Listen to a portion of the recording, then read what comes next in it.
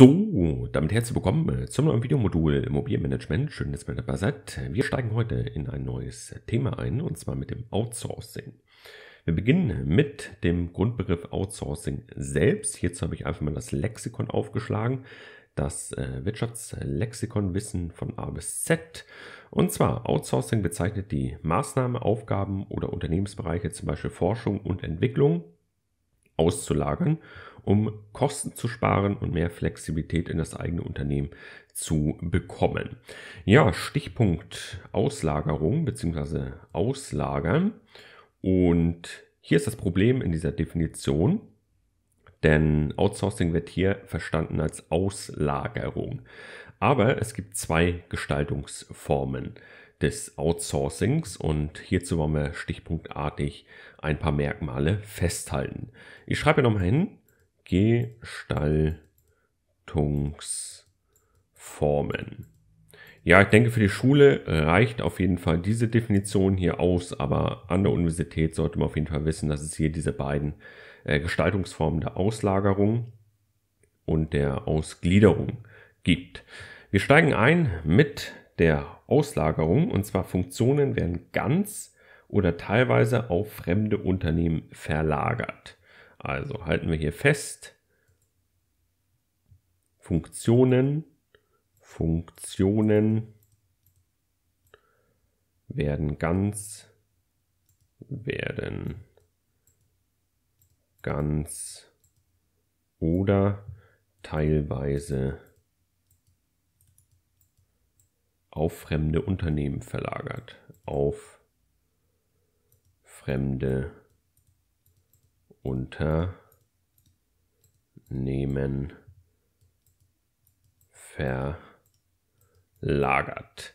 Ja, dann zweiter Stichpunkt ist eigentlich eher weniger wichtig, nur am Rande erwähnt, es ist die wichtigste Form des Outsourcings, wichtigste Form im Outsourcing des Outsourcings. Das sieht man ja hier schon an der Definition. Hier wird gar nicht von einer Ausgliederung gesprochen, sondern von einer Auslagerung. Punkt. Ja, und der dritte Punkt, den ich hier festhalten möchte, ist in Bezug auf den Erfolg. Der Erfolg bemisst sich an der Findung eines Unternehmens, das den individuellen Anforderungen entspricht. Erfolg bemisst sich an der Findung eines Unternehmens, eines Unternehmens, das den, das den individuellen Anforderungen in die individuellen Anforderungen entspricht. Da werfen wir nochmal konkret einen Blick drauf in den kommenden Videos. Das Outsourcing-Thema wird uns wahrscheinlich noch drei, vier Videos lang beschäftigen. Ich habe da ordentlich Input für euch und das ist auch so ein Thema, wo ich sage, okay, da kann man sich relativ einfach die Inhalte aneignen. Man kann sich das auch relativ einfach vorstellen. Man kommt ja schnell zu einem Zugang und ja, auch ich habe mehr Spaß an solchen Themen als irgendwelche Verrechnungspreise oder Heizwärmewerte zu bestimmen. Ja, dann würde ich sagen, kommen wir mal zur Ausgliederung. Und zwar Übertragung von Aufgaben auf ein Profit Center. Das heißt, Entscheidungskompetenzen werden übertragen und können von der Geschäftsleitung unmittelbar beeinflusst werden. Mit dem Kompetenzbegriff, vor allem den Kernkompetenzen, werden wir uns noch äh, in den kommenden Videos auseinandersetzen. Also Übertragung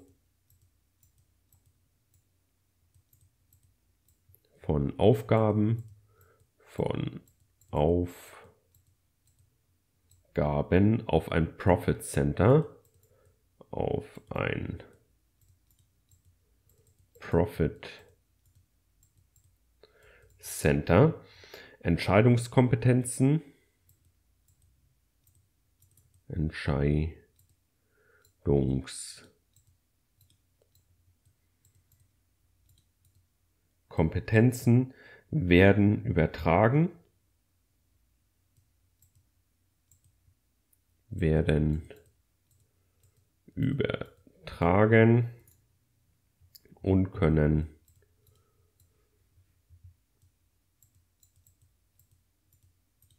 von der Geschäftsleitung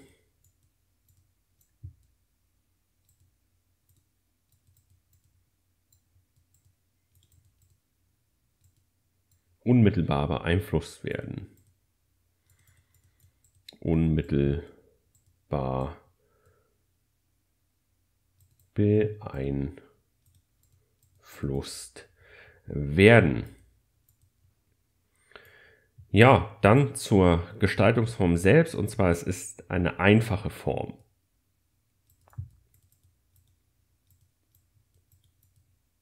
Der, äh, des Outsourcings einfache Form des Outsourcings. Ja, und dann zur Erfolgsmessung bzw. zum Erfolg. Der Erfolg besteht im Kostenreduktionseffekt. Besteht im Kostenreduktionseffekt. Ja, das erstmal so allgemein zum Outsourcing-Begriff.